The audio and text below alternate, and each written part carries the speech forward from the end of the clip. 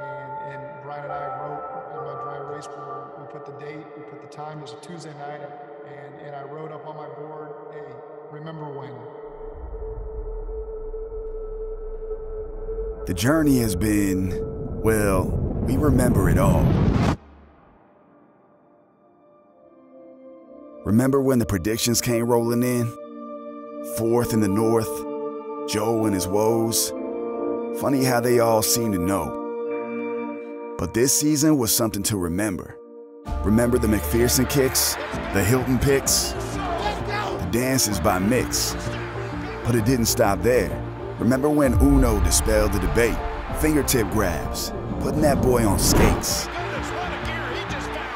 Remember when the odds makers took a back seat to the playmakers, the record breakers, the shaken bakers?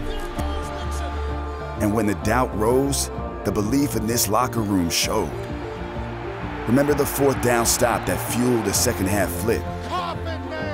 Or when we said the standard is a ship? And how about when we flipped the script?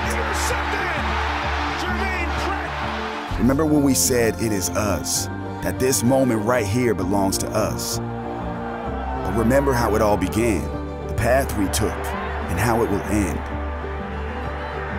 Picture a blizzard of confetti with a Lombardi in hand. So when you wake up tomorrow, a victor again, you should ask yourself, remember when?